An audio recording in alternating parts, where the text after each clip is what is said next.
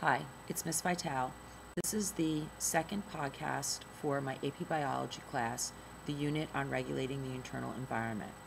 We're going to pick up talking about amphibians and reptiles. Most of them are ectotherms. They have low metabolic rates that don't influence their body temperature. The optimal body temperature for amphibians varies.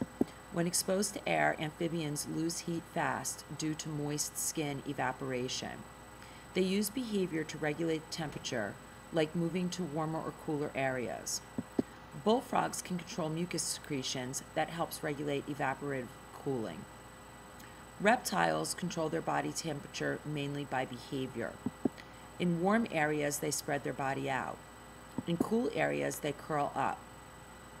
The marine iguana from the Galapagos Islands uses vasoconstriction of superficial blood vessels to route more blood to their core, because they dive down into cold water to eat the algae off of the rocks at the bottom. A few large reptiles become endothermic under special conditions. For example, female pythons incubating eggs increase their body temperature by shivering.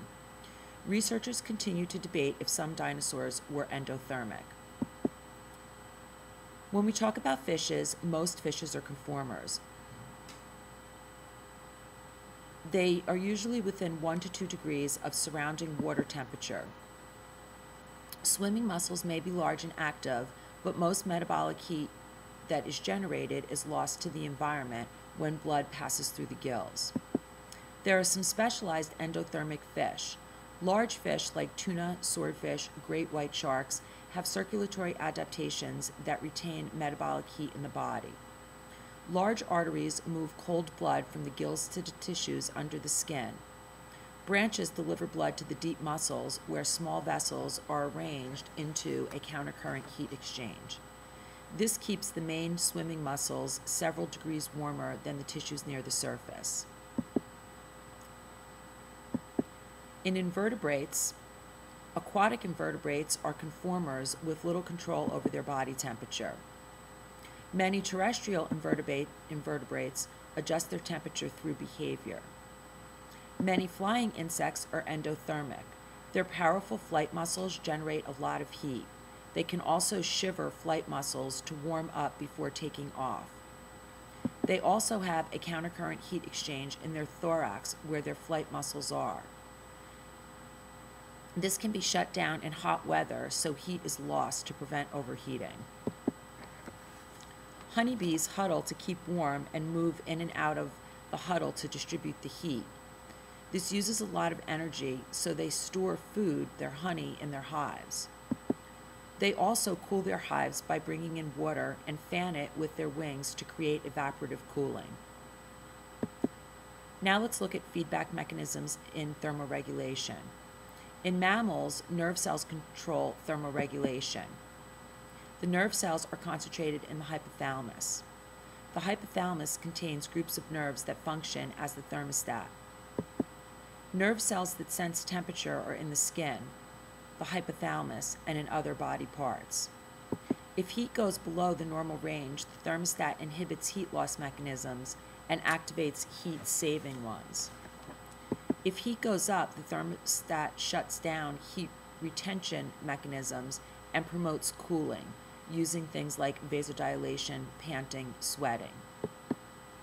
When we talk about adjustment to changing temperatures, acclimatization is when an animal adjusts to a new range of environmental temperatures over a period of days or weeks. Both ecto and endotherms acclimatize, but in different ways. For example, some animals grow winter coats, then they shed them that helps them to maintain their body temperature in cooler, eh, I'm sorry, in warmer weather. In ectotherms, they compensate for changes in temperature, like the catfish in the summer can survive weather temperatures of 36 degrees Celsius but can't function in cold water. They acclimate again in summer but die in water over 28 degrees Celsius. This is accomplished by high enzyme levels to compensate for very low enzyme activity. Some ectotherms produce antifreeze that prevents cells from freezing.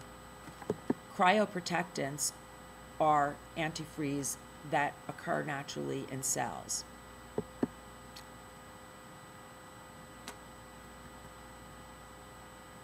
Stress-induced proteins are produced by cells when stressed.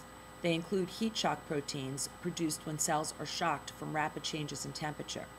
They help to maintain other proteins that would be denatured.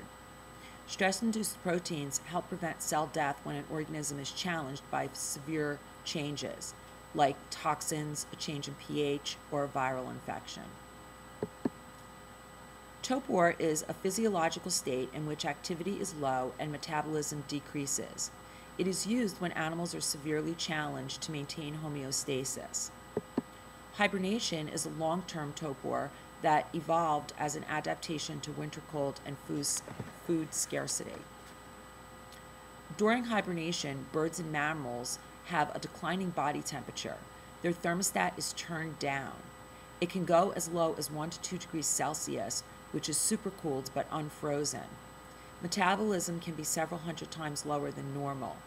They can survive on energy stored in body or food stored in their burrow. Estivation is a summer torpor. Animals can survive high temperatures and low amounts of water when estivating. Also, like hibernation, metabolism slows and there's a very low level of activity. Land snails, land crabs, crocodiles are examples of animals that estivate, but no mammals do. Daily torpor is when um, we see in small birds and mammals. This is basically adapted to feeding patterns. Bats and shrews feed at night and are inactive during the day. Let's talk about water balance and waste disposal. Osmoregulation is the management of the body's water, its contents, and its solutes. Animals need to regulate chemical composition of their body fluids. Osmoregulation is the ultimate function that maintains the composition of the cytoplasm in the body's cells. Most animals do this indirectly by managing the composition of internal body fluid that bathes cells. Transport epithelium is a layer of specialized epithelium. It regulates solute movement. It is essential for balancing water and removing waste. It can move specific solutes in controlled amounts in certain directions. Transport epithelium is arranged into complex tubular networks in most animals. For example,